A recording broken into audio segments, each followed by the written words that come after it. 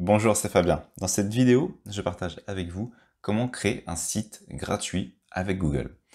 Alors pour cela, il faut déjà avoir un compte Google. Donc si vous avez un compte Gmail ou un compte Google, peu importe, un pour Drive par exemple, eh bien vous avez un compte Google. Il vous suffit de vous connecter sur Google Drive. Ici, j'ai créé un dossier euh, dans lequel je vais pouvoir créer mon site internet. Donc, je vous conseille de créer un dossier vous allez pouvoir ainsi regrouper votre site internet pour ensuite le créer. Comment est-ce qu'on procède? Eh bien, en fait, on a la possibilité avec euh, Google Drive de créer un site comme on pourrait créer un formulaire, comme on pourrait utiliser euh, Google Doc pour euh, créer du traitement de texte par exemple, ou encore Google Sheet pour le tableur. Il suffit d'aller sur plus, et dans plus, on a Google Site. Et à partir de là, on va donc pouvoir créer un site internet qui va être accessible à d'autres personnes. On pourrait imaginer un petit site vitrine par exemple pour une petite entreprise qui souhaiterait être présente sur Internet. Ça peut être également quelque chose d'intéressant. Plutôt que partir sur des structures assez compliquées, parfois, euh, certaines personnes rebutent à créer WordPress, malgré que WordPress soit vraiment un outil très intéressant. Petit moment d'autopromotion, d'ailleurs j'ai créé une formation totalement gratuite, vous n'avez même pas besoin de donner votre email, elle est totalement accessible librement. Euh, vous pouvez la retrouver sur mon site et directement sur ma chaîne YouTube. Je vous mettrai le lien dans la description. Si vous voulez créer quelque chose avec WordPress, eh bien, vous avez déjà toutes les indications pour créer un site internet.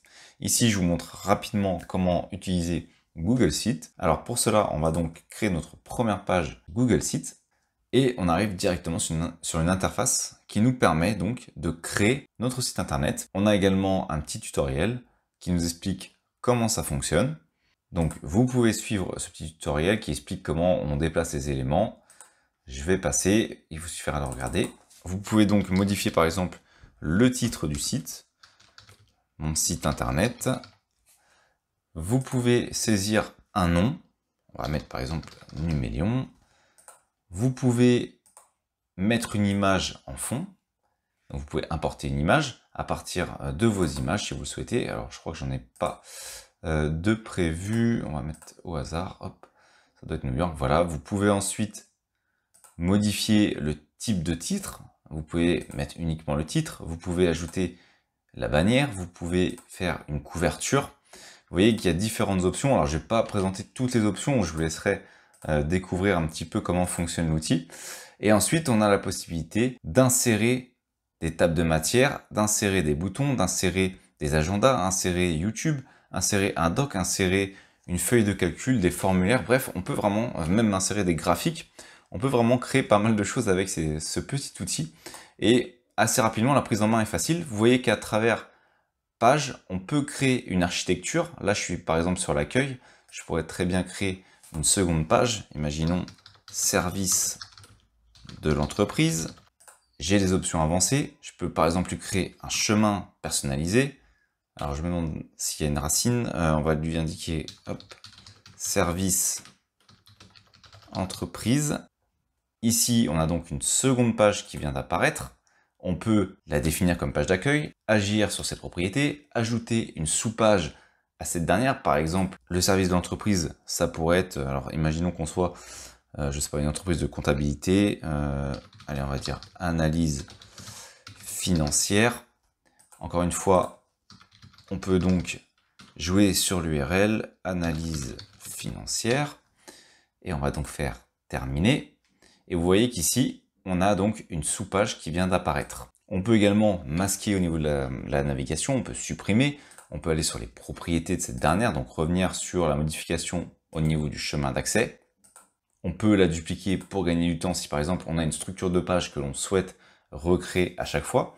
Vous remarquerez ici au niveau du menu eh bien qu'on peut ajouter un logo. Alors j'ai pas de logo ajouté mais bon il suffit de l'ajouter ici. Qu'ici la structure que je suis en train de créer est en train d'être reproduite au niveau du menu. Comme j'ai créé une sous-page, lorsque je passe sur service de l'entreprise, j'ai ma sous-page qui est créée comme un menu classique.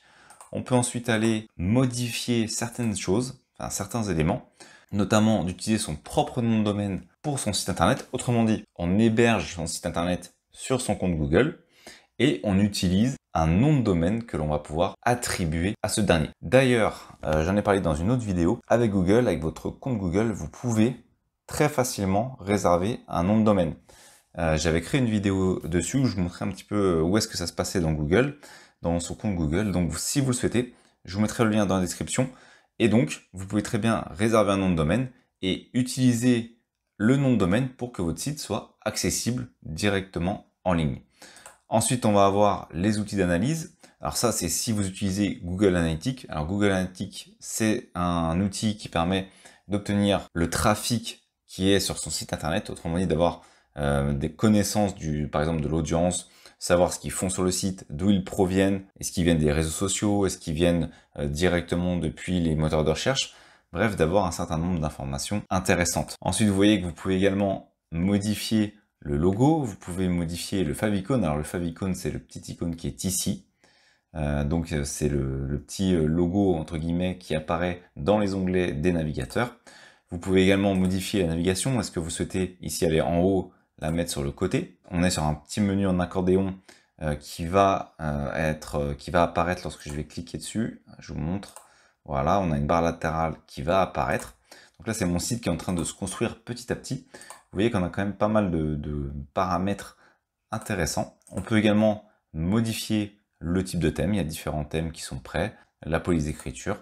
Donc il y a pas mal de choses intéressantes. On peut également créer des zones de texte. Alors imaginons par exemple la mise en page. Vous voyez qu'ici, je peux créer une petite mise en page assez sympa. Image à, gauche. Je peux indiquer du texte à droite. Mon titre, imaginons. Euh, ici, on pourrait imaginer que c'est euh. Imaginons que ce soit la présentation du service. Donc je vais pas utiliser, euh, ici imaginons je pourrais mettre du faux texte. Ensuite on peut ajouter une image ici, on peut également agir sur la couleur qui est derrière. Bref, on peut créer quand même pas mal de choses. C'est vraiment un outil très intéressant, on peut créer des boutons. Honnêtement, pour créer un petit site vitrine, c'est quand même relativement intéressant d'utiliser cet outil, je trouve. En plus, on a accès à l'ensemble euh, des, des caractéristiques, enfin des outils de Google. Tout ça à partir d'un seul et même compte, ce qui peut également faciliter la gestion de l'outil. Alors ensuite, je pourrais très bien ajouter en dessous cette mise en page. Je peux également ajouter une grande zone de texte où je vais pouvoir écrire. J'ai également un, éditeur qui me permet d'écrire un petit peu comme dans du traitement de texte. Vous voyez que ça permet très rapidement de faire sa mise en page au niveau de son, de son petit site. On a également la possibilité d'importer des images. Bref, on a quand même pas mal d'options. Ensuite, une fois que c'est prêt, on peut aller dans l'aperçu. Ici, on va donc être comme si on était sur mon site internet, comme le verrait un utilisateur lambda. On a la possibilité d'aller entre le téléphone, la tablette et également le grand écran. On peut quitter l'aperçu. On est vraiment dans un éditeur intéressant pour créer quelque chose de simple. Si vous n'avez pas envie de vous embêter à utiliser des outils complexes, vous avez déjà énormément de possibilités. Ensuite, on va retrouver euh, ici les paramètres. Alors les paramètres, c'est ceux qu'on avait également ici, ce sont les mêmes. Euh, normalement, oui, voilà, ce sont les mêmes. D'ailleurs, je n'avais pas montré la, euh, la bannière d'annonce. On peut la bannière la mettre uniquement sur la page d'accueil, on peut la mettre sur toutes les pages. On peut modifier donc le texte des boutons. On peut également donc ajouter une bannière d'annonce. Ensuite, on a les différentes versions de son site. Imaginons qu'on vienne à une, imaginons qu'on crée une version qui ne nous plaise pas. On peut revenir à une version antérieure, c'est Google qui gère l'historisation, donc entre guillemets la sauvegarde. Euh, d'ailleurs, vous pouvez, on verra après, sauvegarder facilement votre site en l'exportant puisqu'il va se retrouver dans un dossier, comme on l'a vu tout à l'heure, au niveau de Google Drive. Ensuite, vous avez les autres options. On va passer, c'est pas très important. Et maintenant, je vais pouvoir publier mon site. Donc ici, vous avez l'adresse web. Alors, comme vous l'avez marqué ici, enfin comme vous le remarquez, euh, soit on utilise une URL une personnalisée du type euh, numelion.com. Euh, pour ça, il faut avoir donc réservé un nom de domaine. Je vous ai expliqué qu'avec Google, on pouvait également le faire en réservant ses noms de domaine. Euh, je vous mettrai le lien directement dans la description. Et vous avez également la possibilité de gérer les personnes qui vont ou non consulter votre site. Vous pouvez également rechercher au niveau des paramètres, justement demander au moteur de recherche de référencer ou de ne pas référencer le site. Donc si vous cochez, les moteurs de recherche ne vont pas référencer le site, il n'apparaîtra pas dans les résultats des moteurs de recherche. Ici, j'ai l'adresse web. Si je n'utilise pas euh, d'URL personnalisé, on peut voir que ça va donc créer un site.google.com view Numelion, ça sera son adresse pour que les gens puissent y accéder. Si je veux modifier l'URL, c'est ici sur gérer. On revient à l'endroit où on était tout à l'heure. Hop, et je vais donc publier. Une fois que c'est publié, on peut retourner sur les paramètres de publication, on peut examiner aussi les modifications et on peut également afficher le site publié.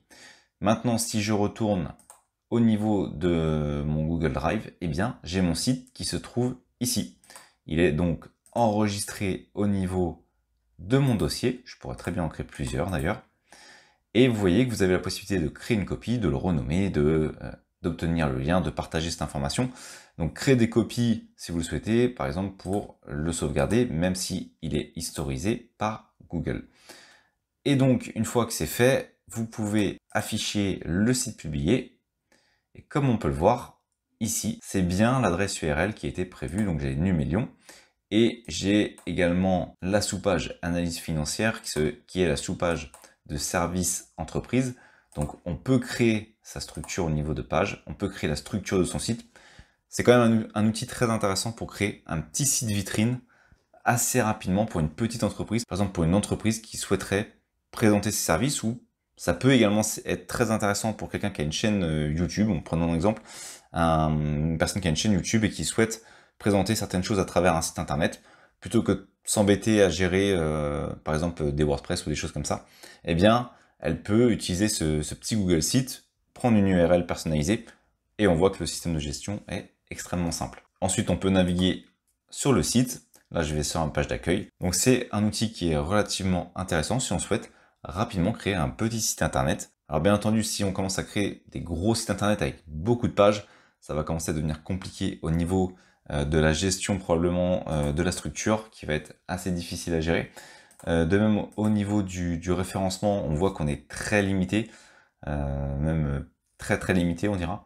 Euh, donc c'est pas fait pour le, si on veut pousser le référencement très loin. C'est vraiment un outil qui permet d'avoir une présence sur Internet de manière simple et rapide. Et surtout en plus de pouvoir intégrer les différents outils de Google. Comme on l'a vu, on a la possibilité d'insérer par exemple euh, des vidéos YouTube, d'insérer des feuilles de calcul, des présentations, pas mal d'éléments, des graphiques également. Ça peut être intéressant si on s'en sert comme support de présentation à, également un autre travail ou alors pour tout simplement présenter ce qu'on fait. Voilà, je ne sais pas si vous connaissiez Google Sheet. En tout cas, maintenant, vous savez que c'est un petit outil qui existe et qui est facilement accessible dans Google. Merci d'avoir suivi cette vidéo jusqu'à la fin. Si cette dernière vous a été utile, vous pouvez la partager ou simplement ajouter un pouce bleu. Cela participe à faire découvrir cette vidéo. Vous pouvez également vous abonner à la chaîne et activer les notifications. Je publie régulièrement du contenu. Merci et je vous dis à bientôt pour une nouvelle vidéo.